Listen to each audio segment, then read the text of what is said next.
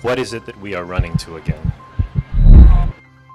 Some days it is hard to remember. Why? But not today. Today matters. Not because of this grand venue, although it sparkles. Not because of your glistening gown, although it is flawless. Today matters because love.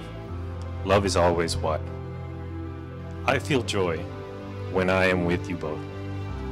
The affection you share shines through in lingering glances, the touch of hands and fingers, in smiling eyes that communicate understanding. I delight in knowing these moments are built on a foundation, beautiful and strong.